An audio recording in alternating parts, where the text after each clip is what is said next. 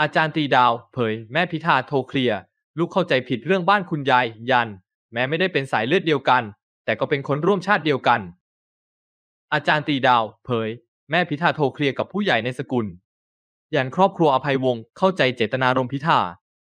ฟังญาติเล่าต่อกันมาแต่เด็กทำให้เข้าใจผิดได้เรื่องบ้านคุณยาย ทางคุณยายเองก็เคยเป็นสะพ้ายอภัยวงศ์ในช่วงหนึ่ง ลั่นสายตระกูล ขอขอบคุณที่ระลึกถึง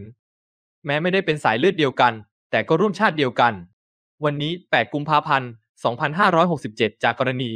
นายพิธาลิมเจริญรัตสมาชิกสภาผู้แทนราษฎรบัญชีรายชื่อพรรคก้าวไกล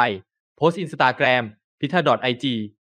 ชี้แจงกรณีที่ก่อนหน้านี้ ได้โพสต์ภาพบ้านเจ้าพระยาอภัยภูเบศเมืองพัตตบอง ประเทศกัมพูชา พร้อมข้อความบรรยายในทำนองว่า เป็นบ้านของคุณยายที่เคยอาศัยอยู่เมื่อประมาณ 100 ปีก่อน ล่าสุด อาจารย์ตรีดาว อภัยวงศ์ได้โพสต์ชี้แจง โดยระบุว่า ขออนุญาตเรียนแจ้งข้อมูล กรณีที่เกี่ยวข้องกับบ้านเจ้าพระยาอภัยภูเบศที่พัตตบอง และโพสต์ของคุณพิธาที่เกี่ยวข้องกับสกุลอภัยวงศ์นะคะ สืบเนื่องจากกรณีที่เป็นประเด็นและข้อสงสัย ว่าคุณยายของคุณพิธาเป็นใคร เหตุใดจึงเคยอาศัยอยู่ในบ้านของเจ้าพระยาอภัยภูเบศได้ ทั้งๆทที่บ้านหลังนั้น ตกเป็นของรัฐบาลกัมพูชาไปตั้งแต่ปี 2450 แล้ว วันนี้ขออนุญาตสื่อสารข้อมูลเพิ่มเติม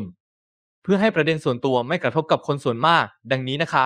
คุณแม่ของคุณพิธา ท่านได้โทรศัพท์มาปรับความเข้าใจ และพูดคุยกับผู้ใหญ่ในสกุลอภัยวงศ์แล้วเมื่อวานนี้ ทางครอบครัวอภัยวงศ์เข้าใจได้ว่า การที่คุณพิธาฟังคำบอกของญาติที่เล่าต่อกันมา อาจจะทำให้เกิดการเข้าใจผิดได้ ทั้งนี้คุณอนุศรีซึ่งเป็นคุณยายของคุณพิธาเอง ก็เคยเป็นสะพ้ายของสกุลอภัยวงศ์ในช่วงหนึ่ง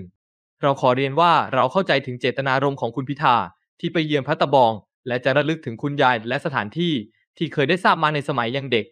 ซึ่งสถานที่นั้นมีส่วนเชื่อมโยงกับสกุลอภัยวงศ์ทางสายตระกูลเราขอขอบคุณที่ระลึกถึงเรา